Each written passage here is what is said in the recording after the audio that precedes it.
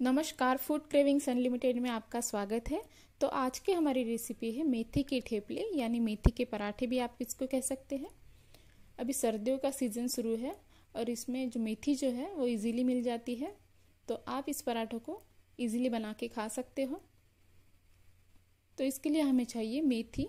यहाँ पे मैंने मेथी को अच्छे से धो के कट कर लिया है बारीक बारीक यहाँ पे गेहूँ का आटा चाहिए और यहाँ पे मैंने लिया है दही।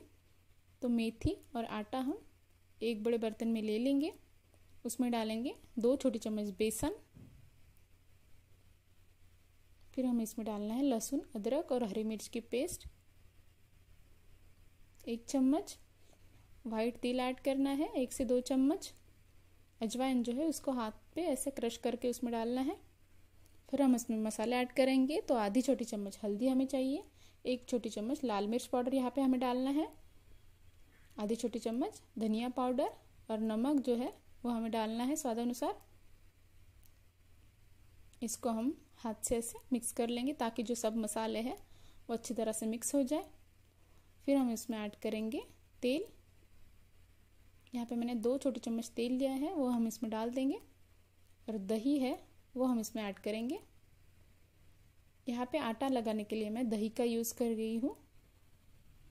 इस तरह से हमें यहाँ पे आटा लगा लेना है।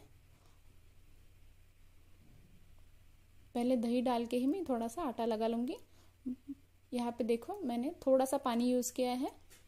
आधे कप से भी थोड़ा कम पानी यहाँ पे मैंने यूज़ किया है दही के बाद। इस तरह से हाथ को अच्छे से ऑयल से ग्रीस करना है, ताकि जो आटा है वो हाथ को चिपके ना। यहाँ पे बहुत ज़्यादा सख्त या नरम आटा हमें नहीं लगाना है। रोटियों के लिए हम जैसा आटा लगाते हैं, उस तरह का आटा हमें लगा लेना है। और इस साइज़ इस तरह हमें छोटे छोटे साइज़ के बॉल बना लेना है, ताकि हमारे पराठे जो है, वो सभी एक साइज़ के आ जाए। इस तरह से मैं पूरे आटे के छोटे छोटे बॉल बना लूँगी। देखो, इस तरह से मैंने पूरा आटा बना लिया है। अब हम इसको गेहूँ का आटा लगाएँगे और अच्छे से रोटी बेल लेंगे। इस तरह से हमें गेहूँ का सूखा आटा लगा के रोटी बेलना है। रोटी जो है बहुत ज़्यादा पतली रखना है। पतली रखने से वो बहुत ज़्यादा सॉफ्ट होती है।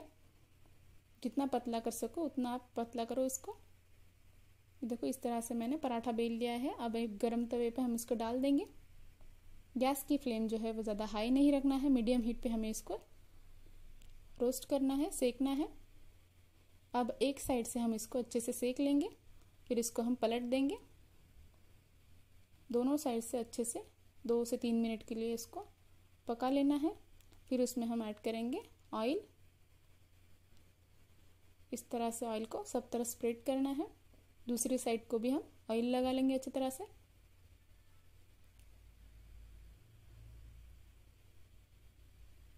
इसको पकाने के लिए तीन से चार मिनट लगते हैं। तो इस तरह से हमारा यहाँ पे मेथी का ठेपला जो है वो बन के रेडी है। अगर आप सफ़र पे जा रहे हो तो ये दो से तीन दिन तक आप इसको आराम से खा सकते हो। बिल्कुल ख़राब नहीं होंगे और दही डालने से तो ये बहुत ही सॉफ्ट रहेंगे। ये देखो बहुत ही सॉफ्ट ऐसा पराठा है बन के यहाँ पे तैयार है। बहुत ही सॉफ्ट लग रहा है तो आप इस रेसिपी को ज़रूर ट्राई करो।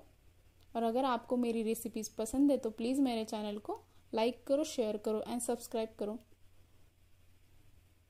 So thanks for watching my recipe